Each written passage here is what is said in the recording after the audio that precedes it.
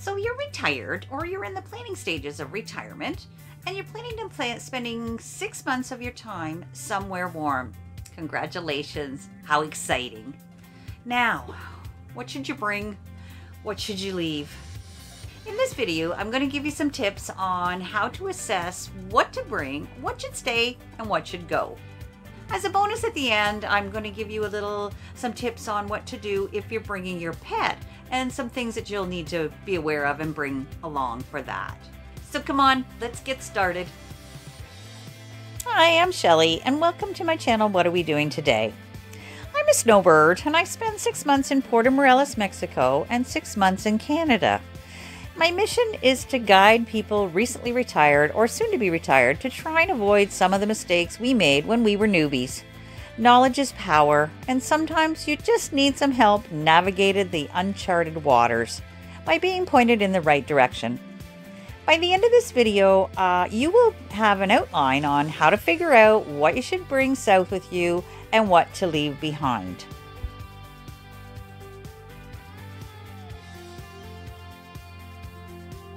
First thing you need to do is to look at your lifestyle and goals. What do you want to do when you retire? Where are you going to be? How are you traveling? What are your needs? Okay, so to show you what I mean here, I'm going to use us as an example and show you the process that we went through. Our lifestyle is pretty low key.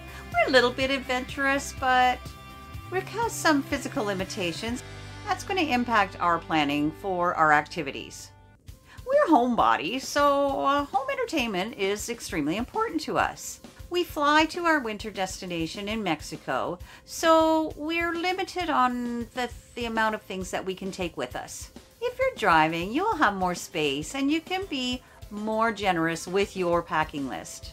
We winter in Puerto Morelos, Mexico, so our town is approximately 26,000 people, and we have access to three pretty good grocery stores in a town that size in Mexico.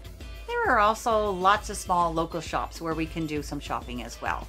We're also located between Cancun and Playa del Carmen, so we have access to things like the Costco's, Sam's Clubs, Walmarts, and all of those big box stores, Home Depot, that are available in our own country as well. So without too much trouble, 30 minutes or so, we can be at either one of those big cities for to buy things that we probably don't have space to bring with us. Our activities are going to be centered around the things that are going on in this area. So we're near the beach, we have access to lots of cenotes and lots of places for day trip. Okay, so that's our assessment on our lifestyle and what we like to do. So let's get more specific on things to bring. Okay, let's talk wardrobe. This is what I brought and this is what I didn't use. I brought three good outfits two pairs of dress shoes. I only needed one. But that's because we live a very casual lifestyle. We don't go out to fancy restaurants. I wore my, my nice dress twice in the whole six months we were there. We went out for Christmas dinner and then we went out with some friends to another nice restaurant for dinner. So the three other, the three good outfits I brought and the two pairs of dress shoes were really, really a waste of space in the luggage. And now I know that. For everyday clothes, I brought too many t-shirts. The climate is really, really hot. So I wore tank tops more. And I ended up buying more tank tops in Puerto Morelos. I also brought two or three pairs of capri pants and an extra pair of long pants along with the jeans that I wore. I never wore any of that stuff. On the other side, I only brought one bathing suit. Uh, renting an Airbnb that had a private pool and being a 10 minute drive to the beach, I should have brought at least two, maybe three bathing suits. I brought five pairs of shorts and that was perfect. With the hot weather, you really don't re-wear things as much as you would when it's not so hot because you're sweaty.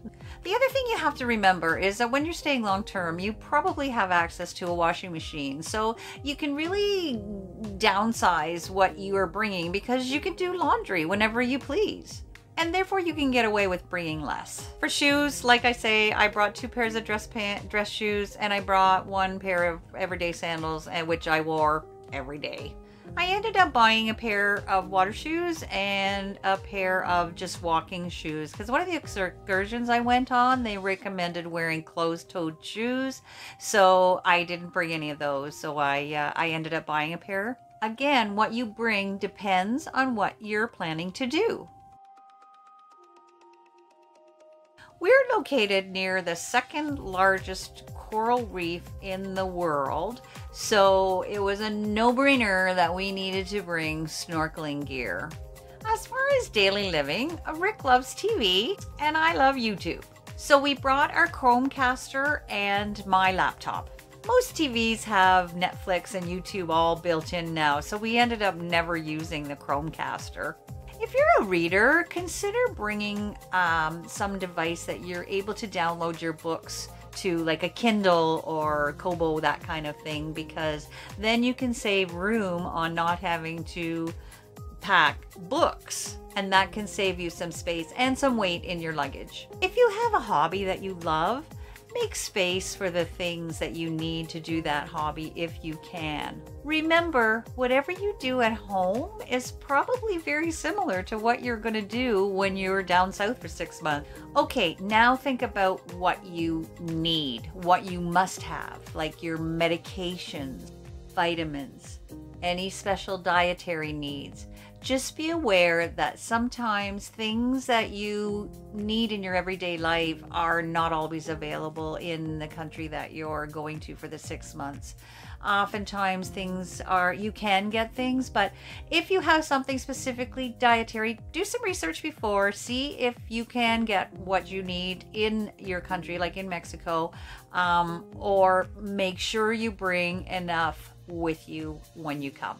I am a borderline diabetic and we were a little bit unsure about what I was going to be able to find for my uh, for my testing equipment. So I took all of my testing equipment. I took enough lancets and enough test strips to do me for the six months. Now I don't test every day, maybe once a week or so, but I just made sure that those things came with me because they were important to my day-to-day -day life.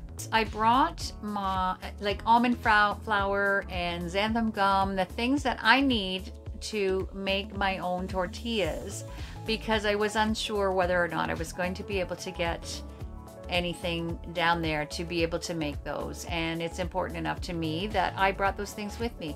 As it turned out, I was able to find low carb tortillas in the local grocery store. So I didn't end up needing to make my own tortillas, which was, was fantastic. But I just didn't know. So rather than take a chance, that was important enough to me that I made sure that I brought that with me. So anything that you must have has to go on your list. It has to go on your packing list if there's something that you are unsure that is really necessary to your day-to-day living. Another consideration you have to make when you're doing your packing list is your budget. Are you going to be able to just buy things that you need rather than bring them down? If you have the budget, it's really good to have a full set of things in both places, both down south and at your place at home. It just saves so much on the carrying things back and forth. Again, that can depend on whether you're driving or flying because if you're driving, you got more space, you can be more generous with your list. Let me know in the comments if there's anything you can think of that you just can't live without. Also, if you're finding this video helpful, don't forget to hit the like button and consider subscribing to my channel.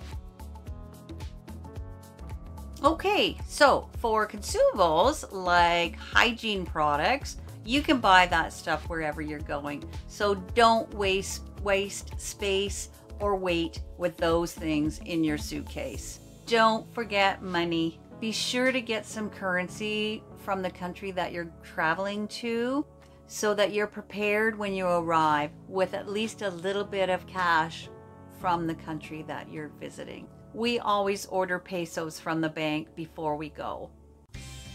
So after going through this process of assessment on what we must have and what we really can live without, I have come up with our packing list as follows.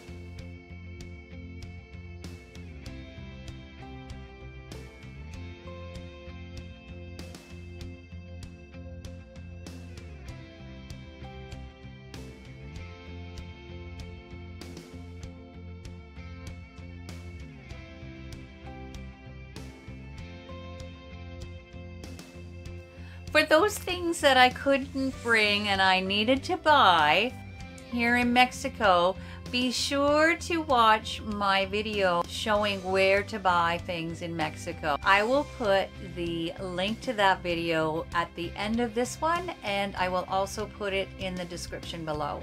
So that is my list specific to my lifestyle. Your list will be different depending on your likes and needs and your activities that you plan on doing while you're down south. Do you have something you just can't live without? For me, it's my Keurig coffee maker. Rick and I have different sleep pattern, so a full pot coffee pot just doesn't work for us since we want coffee at different times. I bring a one cup Keurig with me. It's important enough to me that I will use, I will save the space to be able to bring that in my suitcase. And you might have something like that as well.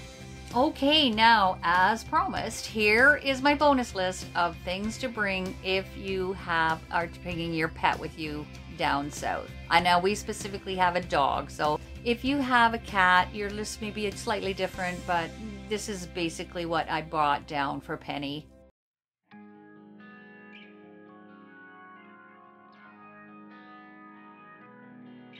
Hope you found this video helpful in planning your trip down south for the winter. Thanks for watching.